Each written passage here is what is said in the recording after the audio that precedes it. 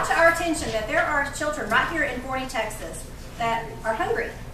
And you know, we have at least about 30% of the children that are in Forney ISD, they fall under the guidelines the, for either free or reduced lunches. We have kids here in Forney that when they go when they eat lunch on Friday afternoon at the school, that's their last meal until they come back to school on Monday morning when they get their breakfast. So that's a long period of time for these kids to go without food. We found out that um, there is a program that was started over at Criswell Elementary several years back, and it's called the Backpack Program. And when it was started over there, it was just through their PTO and some other parent volunteers. And what they did is they had backpacks that they would fill with nutritious foods, like maybe, it's something easy that these kids could probably prepare on their own, like the easy mac and cheese, um, you know, ravioli, ramen noodles, that sort of thing that you could send home. They would have food for the weekend, and then they would return their backpack to the school on Monday, and it would get filled again for them to take home the following weekend.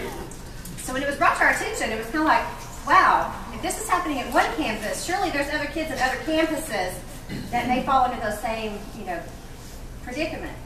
So our next project we're hoping is going to be like a legacy. It's like a footprint of this class. And we're hoping to do a backpack program that we can roll out for the whole independent school district. That we're going to use our counselors to identify kids at each campus that truly are in need.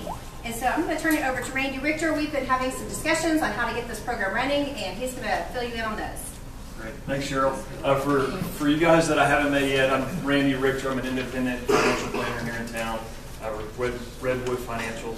Um, and just to update you guys on some of the planning sessions that we've had on this backpack program, uh, the counselors have actually identified around 100 kids that fall in the example that, that Cheryl brought up, brought up, where their last meal is, is lunch on Friday and they don't get uh, the next meal until uh, they get back to school on Monday in the morning. So uh, to come up with uh, kind of the, the, the program and to, to get this off and running, what we've decided to do is we, want, we wanted to um, have this up and rolling the last six weeks of this school year so that we have sort of a trial date to iron out any um, any things that needed to be fixed over the summer and then um, really hit the community hard for um, help, whether it be donations, volunteer time, and putting the backpacks together, um, and uh, help with ma overall management of the program um, with that uh, over the summer. So,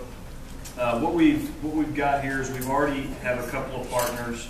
Uh, Community Life Church is going to help us out a lot with uh, the volunteers and some funding, and we've also got. Um, the Forney dry cleaners are actually going to provide some of their high school workers to volunteer while they are still on the clock and getting and paying them their hourly raise to help us out deliver the backpacks on Fridays and so the kiddos can return them uh, back on Monday so we can get them uh, sent back out the following weekend. We've got backpacks already donated, um, so that's uh, that's good that we've gotten that taken care of. And then as far as um, covering the food. We've got all that uh, taken care of, and then where to store the food. So really, where we are uh, needing the most help at this point is going to be obviously any additional volunteers that we can get in helping putting these together during the week. Um, financial support.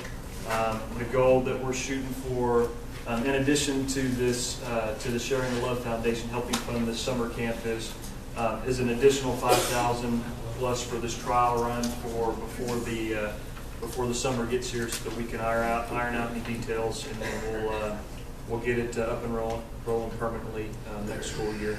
Uh, but really those are the ways that, that uh, you guys can help us out and we really think, you know, whenever we first found out about this, it was, you know, well, we, we're living, you know, we, we live in our own bubble and we don't really notice all of the other things that, uh, that go on in, in, our, in our community. So we would appreciate any, any help, um, and more info is going to be coming out on that um, here in the near future as well. So we, we appreciate your time